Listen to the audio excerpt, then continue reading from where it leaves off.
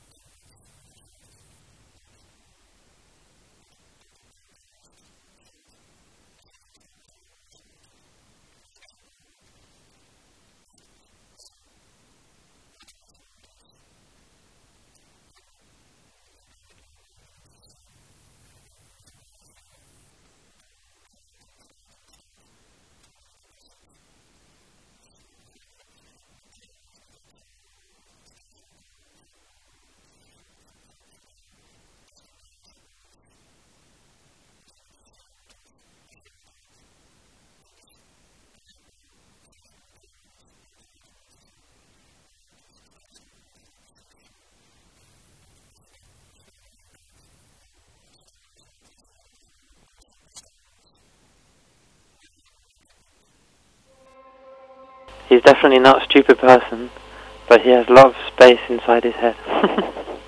That's what I was thinking.